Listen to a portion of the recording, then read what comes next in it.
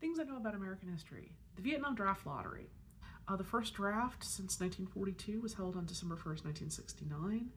And what they did is they had 366, because a leap year, uh, little blue capsules that had birth dates in them. And they had them in this big glass container, which apparently they weren't mixed up as well as they could have been for the first one because there's some unevenness on the, pull, the pulls.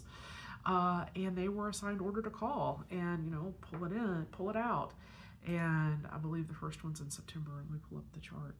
Uh, where is number one? Uh,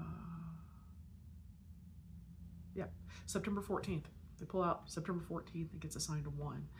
Uh, if I were a guy and if I were in that draft, I got number four.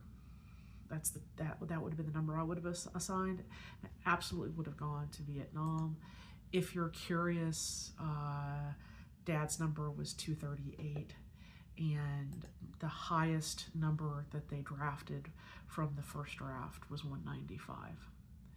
So yeah, um, the first draft was applied for the birth years from 1944 to 1950. They drew them on December 1st, 69, and it was on TV. My dad actually went to bed, in case you're curious. Uh, he was engaged to my mom, uh, but mom stayed up, stuff stayed up all night apparently. My dad went to bed, and uh, that determined whether or not you're going to be drafted. The numbers. Uh, they had another draft uh, in 1970, July 70, for everybody who was born in 51. They had another draft in August uh, 71 for everybody born in 52. February for seven uh, in 72 for those born in 53. You're kind of catching the trend here. Uh, we have another draft in 73 for those born in 54. We have another draft for those born in 74. And sorry, uh, we have another draft in 74 for those born in 55. And our last one was 1975, uh, uh, applied to the year for 1956. And yeah, uh, the Vietnam draft it's hugely controversial and changed America and fascinating.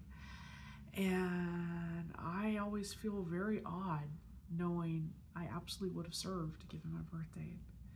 Uh, and if my dad, if my dad's number and mine were reversed, I absolutely would not be here. Uh, always, it's just kind of weird and kind of cool. And I hope you enjoy that. Take care.